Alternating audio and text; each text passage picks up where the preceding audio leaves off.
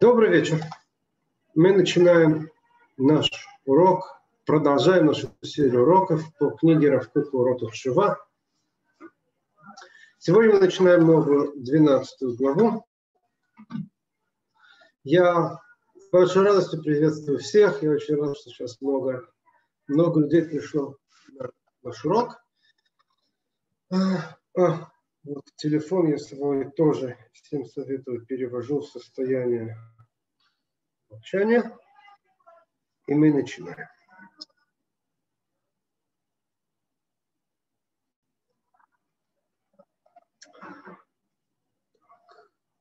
Значит, я бросил э, сегодня не как обычно линк на Google Docs, а линк на Атар. В, в этом сайте у нас э, все наши уроки. То есть я стараюсь поднимать, там есть не все, но я поднимаю потихонечку. Все, сейчас работаю над ним. Там есть и тексты, и переводы, и наши уроки, которые мы проводим э, на Фейсбуке, на Ютубе, они появляются там тоже. Поэтому я приглашаю, кто хочет следить за текстами, также можно зайти на сайт по ссылке, которую я прислал в чате и в Зуме, и в Телеграме. Пожалуйста, я всех приглашаю, кто хочет. Значит, и с вашей помощью переходим к тексту.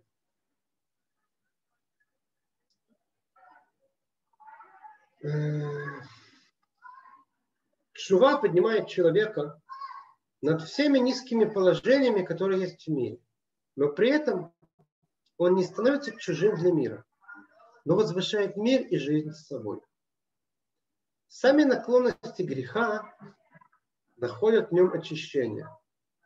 Могучее желание, взламывающее все границы, которые стали, стало причиной греха, оно же само становится живой силой, творящей великое и возвышенное для добра и для благословения.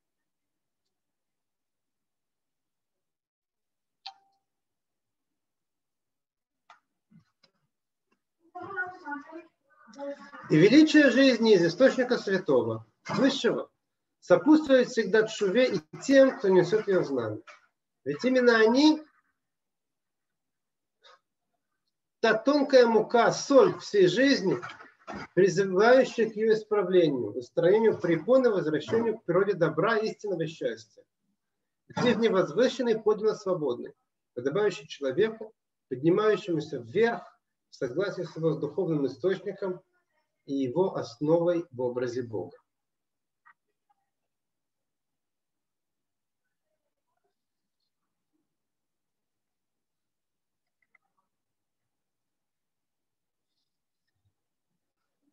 Не знаю. Мне лично очень нравится, очень нравится первое предложение с которым э, раб начинает наш абзац. Я от него просто таю. Потому что существует такая вот картинка в голове праведника. Человек, который сделал чуву, как-то вот, как по-русски говорят, немножко не от мира сего человек возносится над миром, мир становится немножко странный, немножко чужой, всеми его там низостями, грехами, там, страстями. И человек, он вот такой вот э, праведник, или как люди друг себе так вот рисуют, я, например, да, ту картинку вот такого человека, который вот как, как я буду выглядеть, если я буду праведником, как я буду выглядеть, если, сделаю, если я сделаю шуву. И картина, которая вырисовывается, что мир мне будет чужой. Я буду стремиться, допустим, к будущему миру, а этот мне будет э, чужой немножко. И Рав нам первым предложением говорит нет. Чува тебя да поднимет над всем низменным, что есть в этом мире, но правильно сделав чуву, ты не будешь чужим за миром. Я прошу прощения на поработке.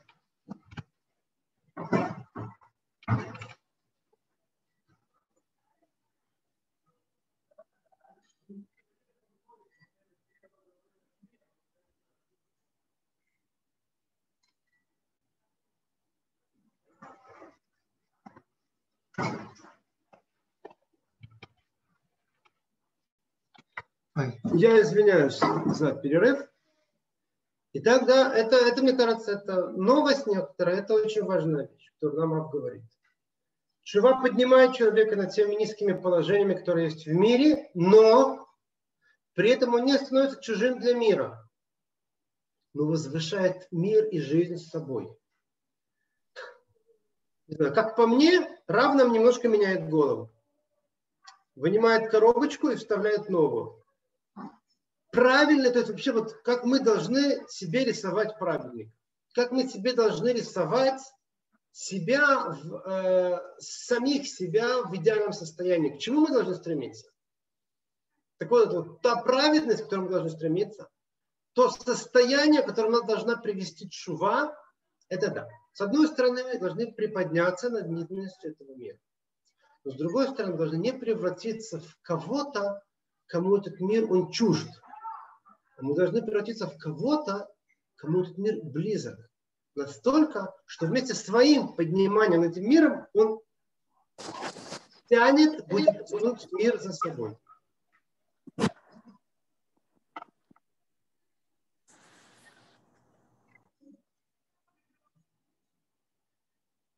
Э,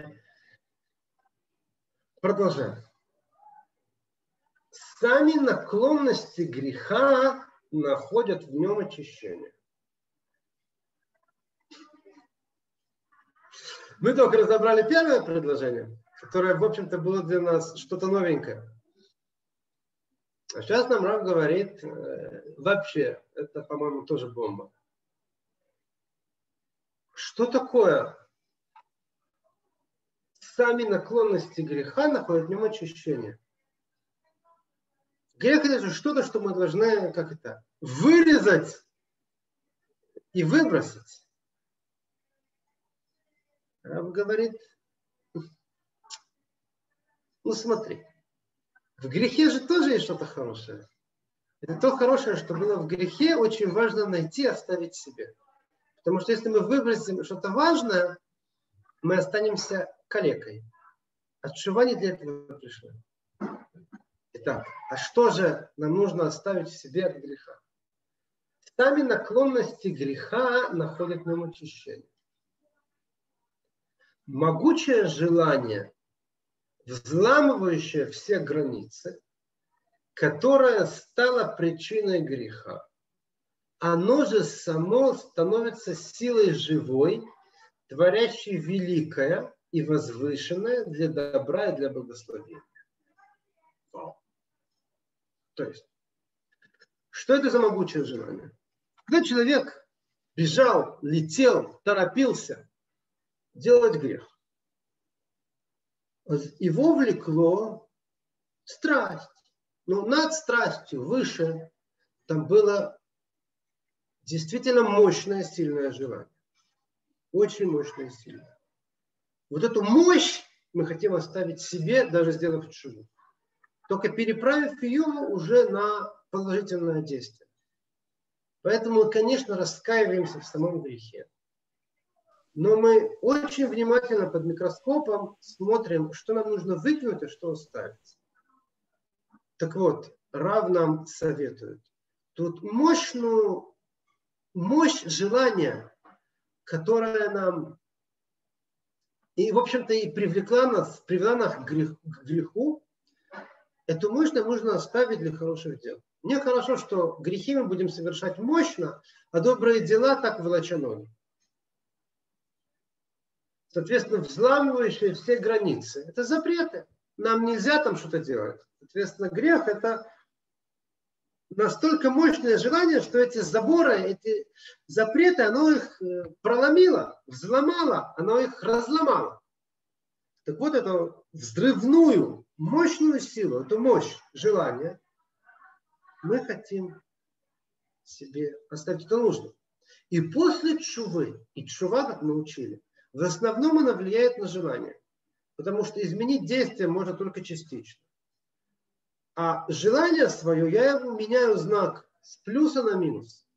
Так вот, надо обратить внимание, что меняя знак желанию с минуса на плюс, я оговорился, да, нам нужно обратить внимание, что мощно нужно оставить. по крайней мере, такой же, какой она была во время того, как мы делали какие-то неправильные поступки.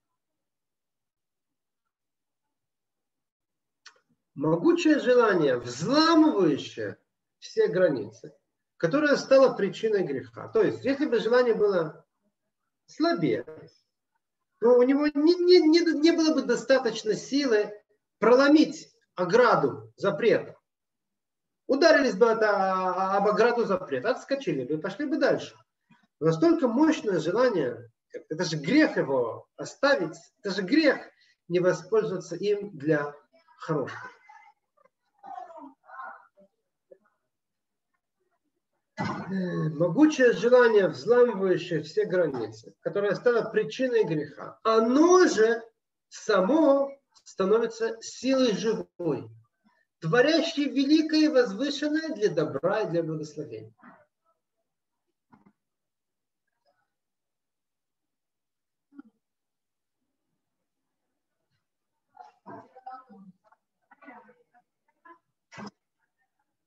И величие жизни –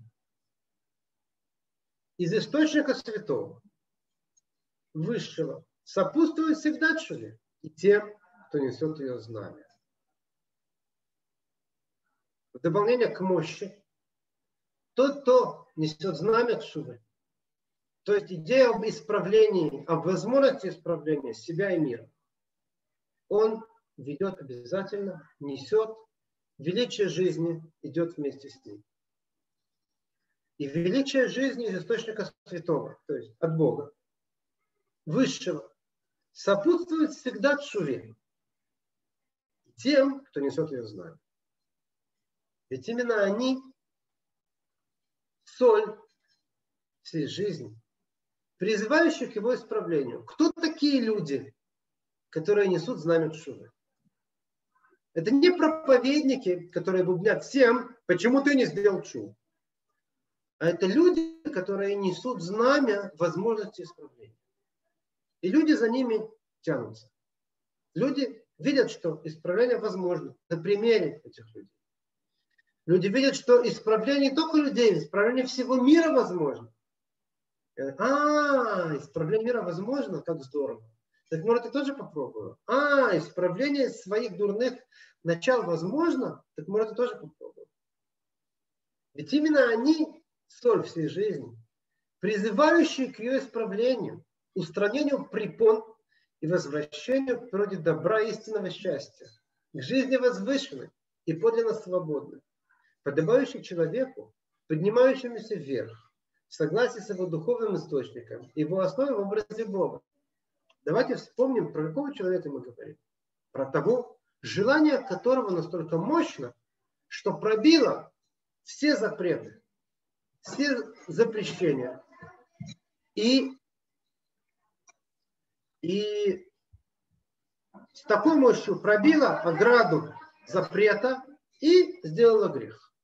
У этого человека сил осознать свой проступок, сделать шуву и сохранить у себя мощь того греховного желания с тем, чтобы направить его на добро смотря на такого человека,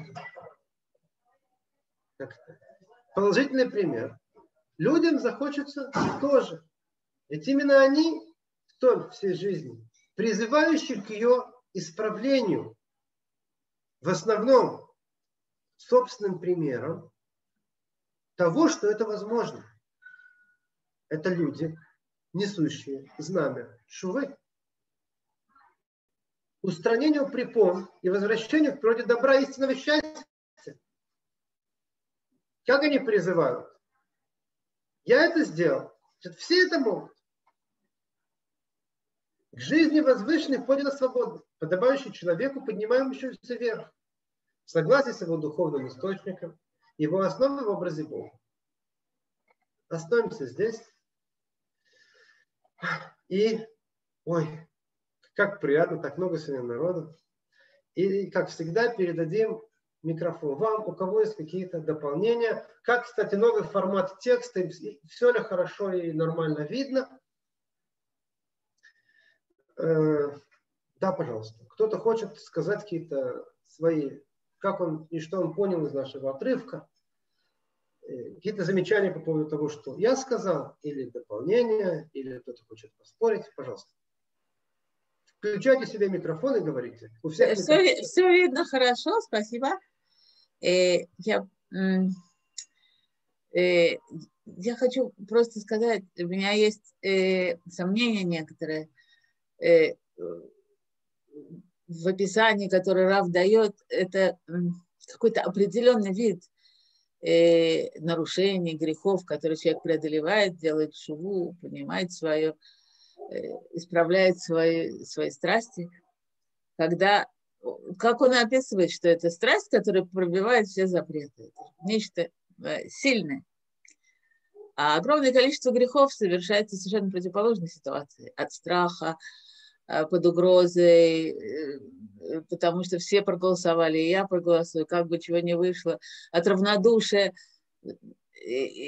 Не от того, что... что и, и то же самое и нарушение как, э, законов как бы в, в те эпохи, когда это запрещено. У человека нет мужества, мужества э, отстаивать свою веру, например, и так далее.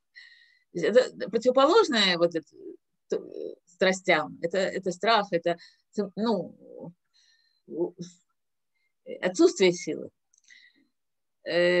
Я пыталась как-то это в голове интерпретировать тоже в этом, в этом направлении, как Раф сказал, может быть, но у меня плохо получилось.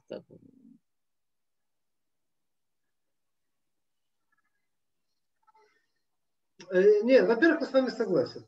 Рав здесь, безусловно, говорит э, не о всех грехах, а именно от таких, которые сделаны так вот с большой энергией, с большой силой.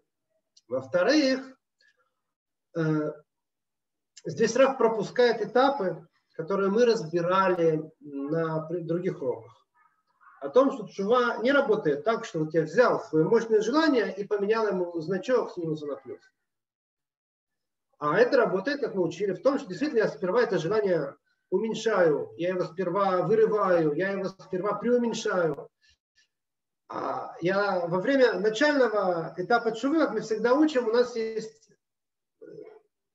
спуск для того, чтобы подняться в конце концов. И на время этого спуска желание, оно вообще уменьшается. И не только это конкретное желание, все желание человека уменьшается. Человек становится немножко мельче, меньше это действительно все так, и только во втором этапе чувы э, мы должны вернуть эту мощь, которая была. Пример, который мы приводили с Равом, это мы с Равом, который приводил на наших уроках, э, мы приводил Рав, это еврейские праздники, что Йом-Кипур, который осуществляется с чувой, после него обязательно должна идти радость праздника Суккот и праздника Шмини Ацерет Тура – это кульминация радости. И Раб это объясняет именно в ключе чувы. Что чува, она не полная, э, пока нет, пока мы не вернем э, мощь жизни, ту мощь, которая была до чувы. Потому что чува начальным своим этапом, она это как э, лекарство сильное, хорошее, которое человека вылечивает, но оно человека ослабляет. Это первый этап швы, поэтому нельзя там застревать. В конце концов, мы должны э, завершение шувы это именно вот праздником Суккот. И это здесь все у нас пропущено. Здесь Раб говорит о том, что сделав чуву, мы должны не забыть вот этот вот самый праздник Суккот, сделав чуву и перевернув свое желание с плохого на хорошее, мы должны не забыть про мощь, восстановить ее, и эту самую мощь, которая была в плохом, направить ее на хорошее. Теперь вы правы. Корней греха есть много. То, что сделан грех из-за того, что мне очень-очень хотелось, и я с большой мощью это пошел там сделал, это только одно из э, классификации грехов. Есть грехи действительно, как вы сказали, из-за малодушия, из-за страха, из-за лени, из-за всего что угодно. Да, Здесь мы говорим про вот этот вот сектор. Я с вами согласен полностью. А можно я тоже отнесусь к тому, что сказала Нехама, потому что как-то э, я, когда слушала сегодняшний урок, э, с одной стороны, меня это очень вдохновило, я даже не знаю, просто очень-очень.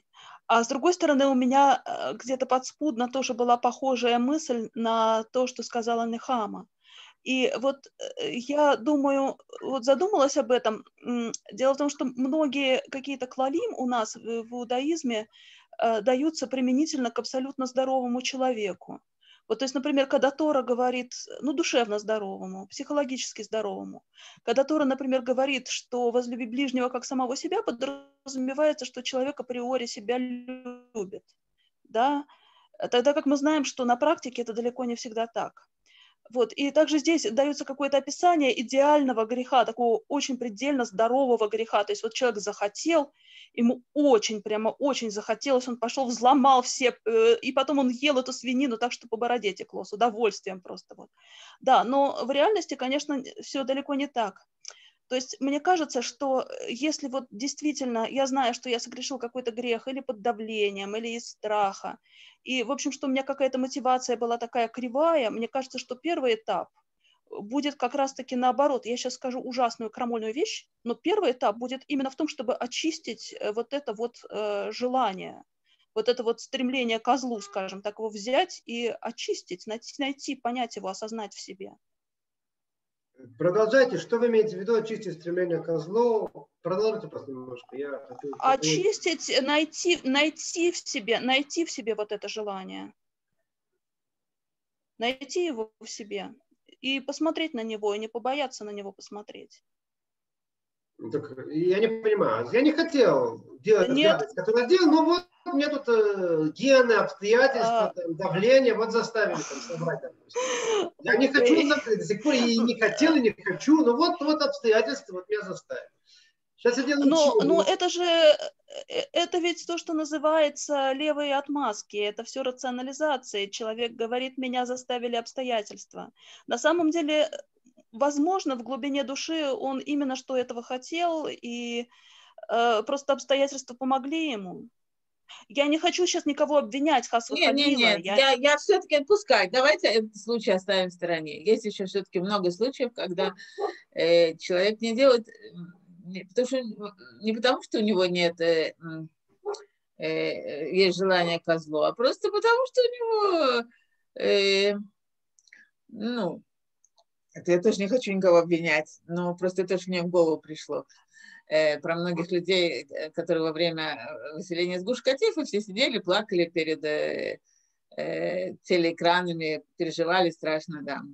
А, но э, приехать в Гушкатиф защищать его, ну как же, у них работа, у них э, какие-то другие обязательства, они боятся, что там, э, где, где, как, что будет там очень грустно, конечно, но, но жертвовать своей жизнью власти, так сказать, ну, понимаете, что я хочу сказать? То есть это, это пример, может быть, не очень, э, это я не хочу сказать, что они грешили, не дай бог, э, но он как бы э, типичный случай, когда там на, на собрании все голосуют за исключение кого-то из комсомола или с работы или еще чего-то, который подал заявление на выезд.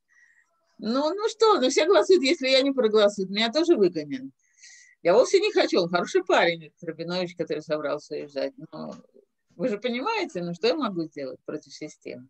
То есть это обычная ситуация, которую я говорю. Да, или я там. поняла. Например, э, у меня э, дедушка рассказывал, что когда бабушка была беременна, они безумно боялись, что родится мальчик, потому что тогда они не знали, что делать, они боялись сделать бритмилак той ситуации, в которой тогда был Советский Союз. Ну, не знаю, они, наверное, бы не сделали. Они знали, что надо, но боялись. Ну, так, это я, опять же, ситуацию упрощаю. И это все время так поступал, э, происходит. Это именно не та ситуация, когда человек хочет зла подсознательно. Это э, то, что вы говорите, это более такой сложный, как это самое. Э, она меня соблазнила, на самом деле, как так получилось, да, там, я слабость проявил. Не, ну, ну, тут была какая-то действительно, может, подсознательное желание сделать плохо, да. А, а, но я не про это говорю. А можно, тем не менее, я возражу? Давайте, конечно, это правда. Э, смотрите, э, все вот эти ситуации, я поняла, они на первый взгляд э, выглядят как нечто совершенно другое и нечто гораздо более сложное. То есть вроде у человека не было никакого желания зла по отношению к тем же самым поселенцам. Да, может быть, он даже хотел добра. Тем не менее, из его молчания, из его бездействия получилось зло. В, в чем мощь желания этого человека? Тут есть а очень мощное, мощнейшее желание у этого человека. Об этом я как раз думала. Он хочет выжить сам, я думаю. Да. Хочет Совершенно верно. Набрать, да, да. Совершенно верно. Это, я думаю, вот это вот и есть да. мощь. Ну, в отношении быть, да. вот всех, вот э, всех, всех, всех, это совершенно четко, мне кажется, потому что отношение а, всех грехов, совершенных из страха и под давлением, лежит сильнейшее, мощнейшее желание жить, желание выжить. выжить. Эгоистическое, эгоистическое Я, я об этом думала еще до того, как я задала свой вопрос но как бы я не была уверена. Может быть, теперь с вашей помощью действительно мы остановимся на этом. Спасибо, спасибо, Ширя. Мне очень понравилось ваш... Э, то есть, вот, ну, вот здесь вот определение очень четкое, да. Когда мы действуем там, вот, из малодушия, под воздействием страха и так далее, это тоже на самом деле очень мощное желание выжить, жить. И вот так же, как на грех, его можно направить, конечно, на добро. Отлично, большое спасибо, Ширен. Угу. Спасибо Нехама, конечно. Кто-то еще хочет что-то нам добавить?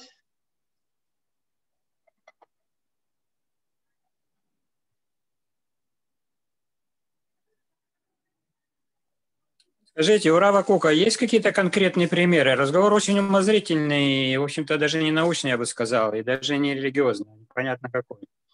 Э, есть какие-то конкретные... Я кроме Рава Акива, в общем-то, никакого примера подыскать сам не могу, понимаете? У которого была страсть и чистолюбие, и вот он, сказать, э, направил эту энергию, так сказать, либидо свое на э, творчество в Торе. Э, знаете, во-первых, очень хороший вопрос. У Раба практически нет примеров. Э, вообще, то есть примеров нужно додумывать самому, это наставляет нам. Раб, он э, нам рассказывает какие-то очень э, принципиальные вещи, общие. Примеры нам нужно как бы пытаться приземлить примерами самостоятельно. Действительно, теперь подход в общем рабу действительно он, он очень общий. И как вы сказали, и в религиозном, и, и в общем, как бы он... Э, ну, ну, даже в общих. Вот у меня как бы такое вот возникает, как бы, да, вот э, э, в Каэлете, я уже не помню, как это там точно выражается, в общем, э, но что, мол, э, Горбатова могила исправит, да, что человек вот он такой вот кривой все, причем это простирается от э, Соломона до, до Канта, который тоже говорит, что это кривое полено, из которого ничего отдельного не сделаешь. Да? То есть человек, у него есть инстинкты, есть э, его, так сказать, генотип, фенотип, его история, его воспитание, э, общество, в котором находится. Он, ну, если по-постмодернистски, так он как бы запрограммирован очень сильно. И выйти из этого, допустим, да, должна быть тара, должна быть э, как община, должна быть какая-то помощь, должен быть какой-то руководитель, должно быть какое-то везение. Это тоже от Всевышнего все. Где тут Всевышний? Как бы в этой шубе все. Понимаете, очень сложные вопросы. Как бы, ну, какие-то элементы, может быть, здесь э, как бы могут быть, да, то есть, э, в принципе, Равкук жил в то время, когда, в общем-то, Фрейд уже, так сказать, был известен довольно хорошо своим подходом, да, то есть о том, что инстинкты, можно, так сказать, их переплавить в творческое либидо, да, то есть э, каким-то способом, да, то есть если человек найдет какое-то свое значит, призвание, вот, но очень мало кто его находит, это очень редкий случай. Знаете, например, у, в исламе, так там вообще как бы считается, что человек уже, вот он, как он родился, так он здесь ничего его не исправит. Они этим даже не занимаются. Они считают, что он должен выполнять какие-то заповеди. Если он не может, там пусть идет совершит какой-то свой подвиг шиитовский, вот, и умрет, и попадет там куда брали, куда, но он себя изменить уже не может. Понимаете, там нет работы на собой вообще, насколько я знаю. Это тоже должно было известно быть э, Раву, да, то есть э, какой-то какой фон, о чем это все, сказать, э, кроме как бы таких вот общих вещей, то есть как это связать все с наукой, с контекстом каким-то вот к тому времени. Понимаете, вот что мне было бы интересно. Понимаете?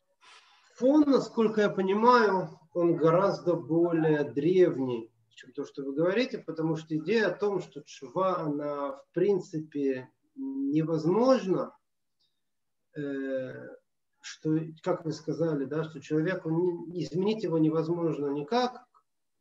Да нет, это Соломон сказал, это в Каэлит написано. Да, да, да. Идея, идея, что у нас э, человека нельзя исправить, горбатым ты родился, горбатым и помрешь. Эта идея, она, как вы сказали, она очень старая. И на самом-то деле это именно то, что, то, чем занимается Равкук. Это его основная борьба в этой книге, например, да, насколько я понимаю. Не в том, чтобы научить нас, э, какие у нас законы у чувы, как ее делать.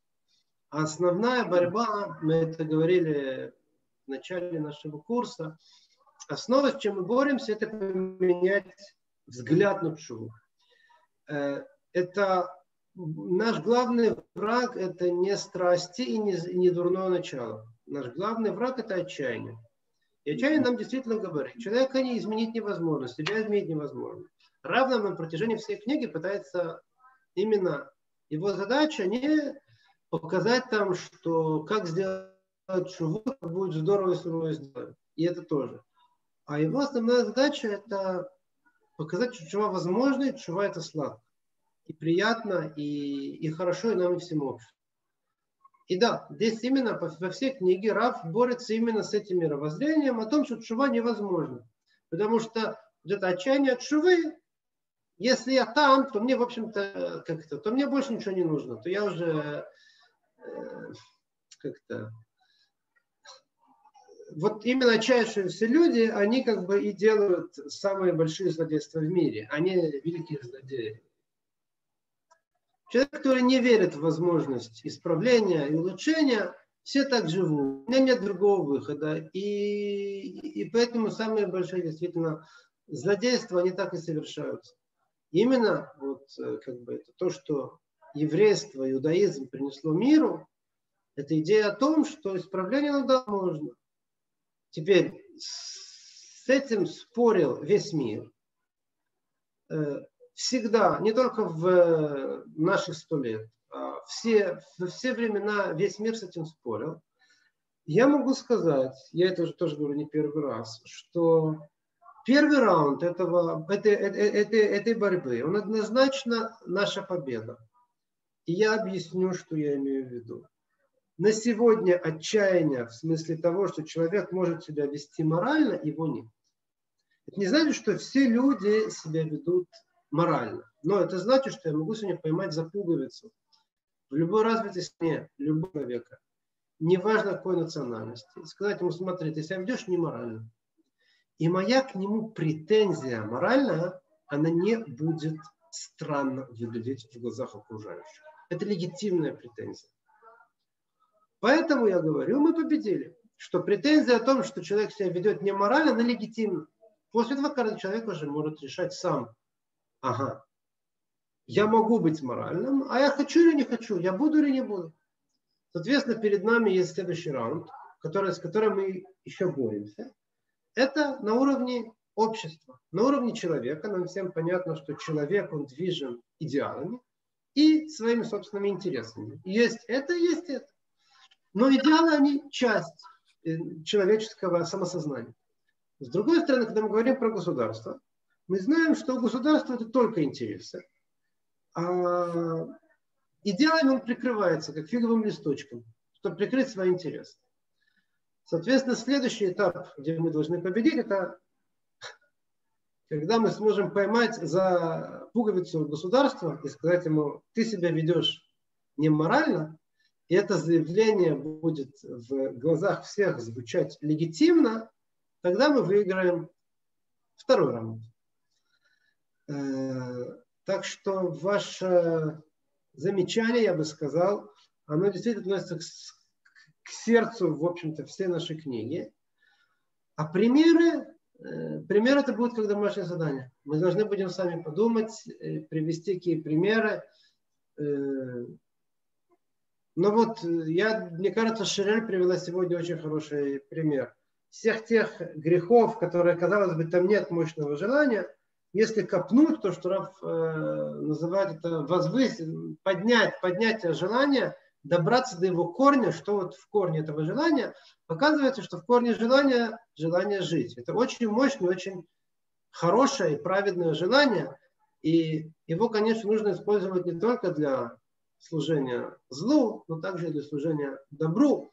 И поняв уже, что мной движет, что, в общем-то, на поверхности, да, там малодушие, да, там страх, но на самом-то деле, копнув глубже, я понимаю, что там сидит желание жить, очень мощная творческая сила, с этим я могу уже как-то двигаться дальше. Так что, допустим, вот пример Ширель мне и Нехама мне очень здесь нравится. А другие примеры, это нам нужно придумывать. Я понял. Значит, главная идея Равакука – это как бы пафос чувы, что она возможна, что надо верить и что надо искать эти пути. Как бы. Надо верить, что чува возможна. А да, все остальное это уже, это уже частные подробности. Понятно. Безусловно. Не только Равакука, это классика, в общем-то, иудаизма. Ну, То, понятно, что это, Рава... это Тара вся на этом построена, как бы вся фактически. Да, безусловно. По-моему, только, может быть, один раз он упоминает здесь отчаяние э, прямым текстом. Но, как я вижу всю его эту книжку, это борьба с отчаянием в таком его виде, в другом его виде, с чувой, с возможностью сделать чего вообще, с возможностью делать чего над моим конкретным прегрешением э, и так далее. Э, да, именно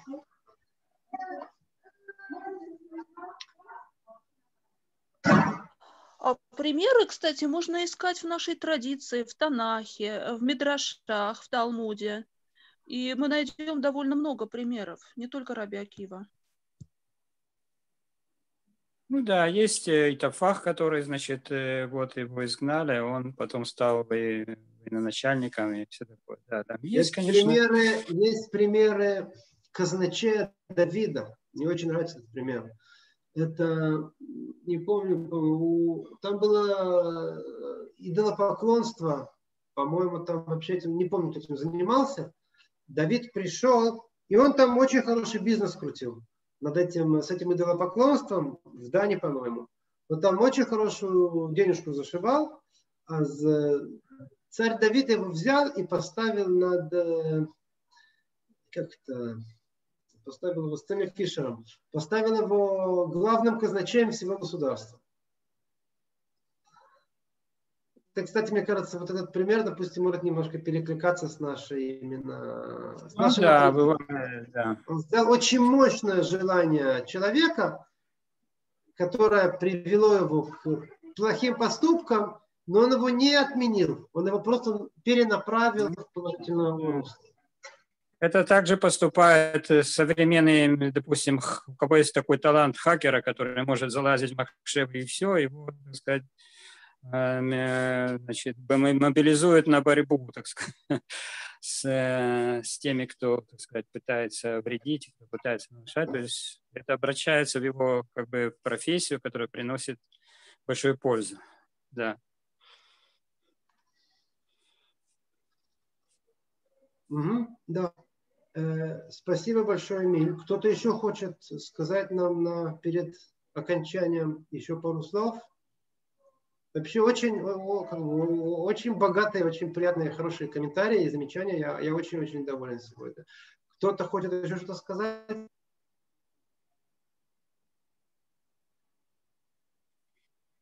Нет. Ну хорошо. Я бы Тогда хотел мы... бы как бы какое-то продолжение, если можно. Есть э, разные как бы подходы, есть там что-то делать по-монски в этом направлении, что-то делается, так сказать, там есть тарамицион, может быть, это как-то развить уже на современные какие-то опыты и подходы к этим вещам. Я не знаю, насколько это интересно, насколько это...